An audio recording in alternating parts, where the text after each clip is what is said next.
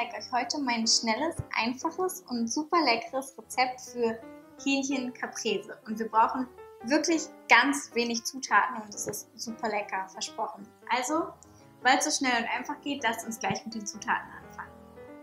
Ihr braucht Salz und Pfeffer, frischen Basilikum, Tomaten, Mozzarella, Knoblauch, ein bisschen Parmesan und gutes Olivenöl. Und das war's schon.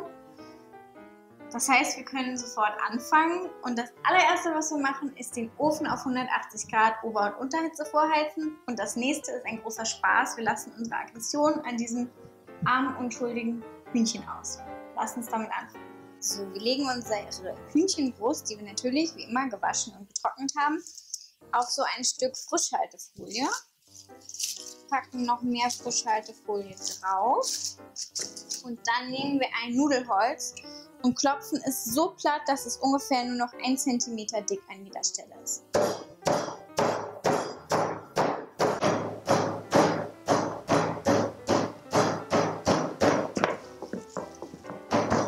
So, das sollte reichen.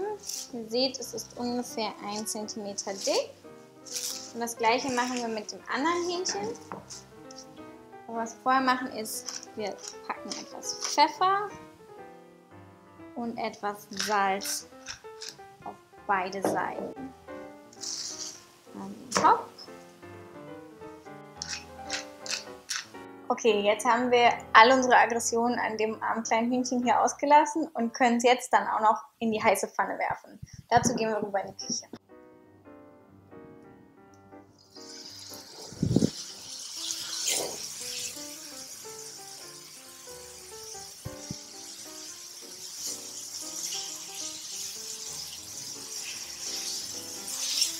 So, wir lassen das jetzt auf einer Seite braten, bis es, wie ihr hier seht, am Rand schon so leicht weiß wird. Das dauert so ein bis zwei Minuten und dann drehen wir das Ganze um. Das ist schön braun auf einer Seite und jetzt lassen wir es wieder ein bis zwei Minuten auf der anderen Seite grillen. Okay, jetzt kommt unser Pesto-Teil für unser Hühnchen Caprese.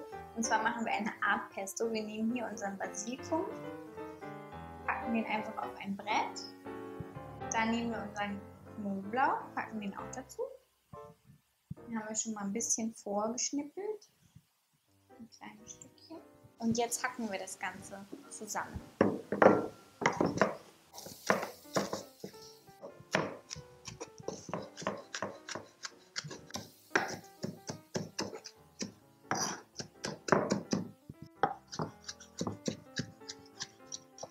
So, und das machen wir so lange, bis wir einen feinen Brei haben. Das genügt. Jetzt packen wir das Ganze in eine Schüssel. So.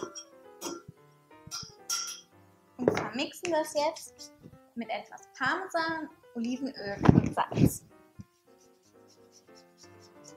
Also ihr seht fast ein Pesto. Pinienkerne fehlen noch und es ist nicht ganz so fein. Aber das soll es auch nicht sein. So gutes Olivenöl mit dem Salz. Seid ein bisschen sparsam, weil wir haben den salzigen Käse, wir haben auch unser Hühnchen schon gesalzt. Ein bisschen kann ruhig rein. So, das Ganze vermenge ich jetzt einfach nur. Und stelle es beiseite.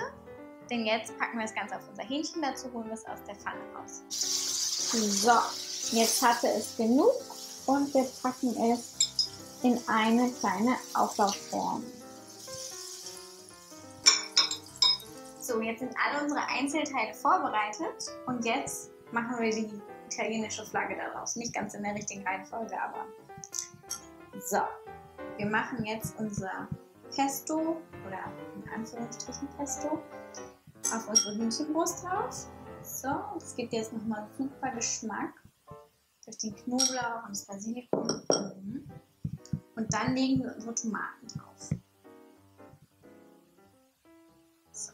Und zu allerletzt kommt der Mozzarella drauf.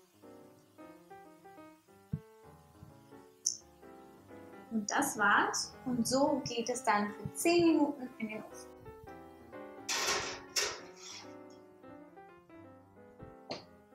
So, unser Hühnchen ist jetzt aus dem Ofen wieder raus. Der Käse ist schön geschmolzen. Ich habe es nicht so lange drin gelassen, bis der Käse braun wird, weil ich es gerade schön finde, dass wir diese drei Farben aufrechterhalten, dieses Grün, Rot und Weiß von der italienischen Flagge. Aber macht es, wie ihr es möchtet. Und jetzt schauen wir mal, ob es auch so lecker schmeckt, wie es aussieht.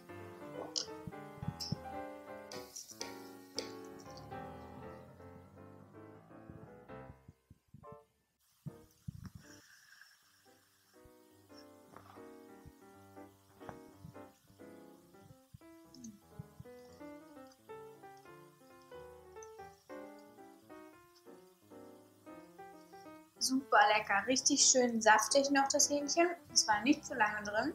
Wir haben es nur zu Ende gegart im Ofen. Dann dieser leckere Knoblauch-Basilikum-Geschmack und dann der geschmolzene Käse. Mm -mm -mm. Wirklich, wirklich lecker. Macht es nach. Das genaue Rezept findet ihr wie immer auf meiner Webseite cookingtheheartbeat.com und wir sehen uns beim nächsten Mal. Tschüss!